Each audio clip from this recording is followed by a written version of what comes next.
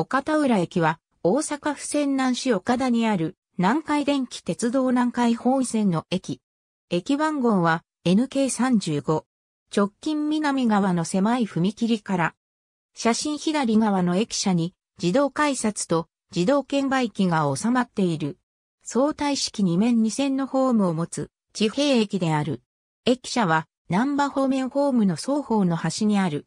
二つのホームは連絡地下道によって結ばれている。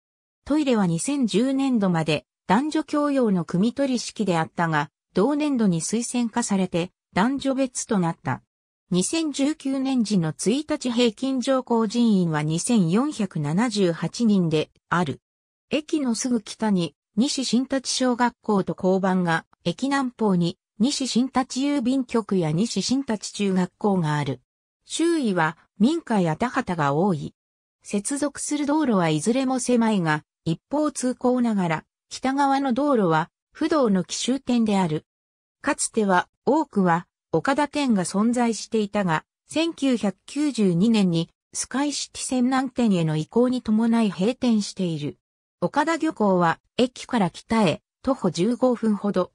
駅名を関する停留所はないが、駅南方に西新立公民館前停留所があり、爽やかバスの一部路線が経由する。爽やかバス。ありがとうございます。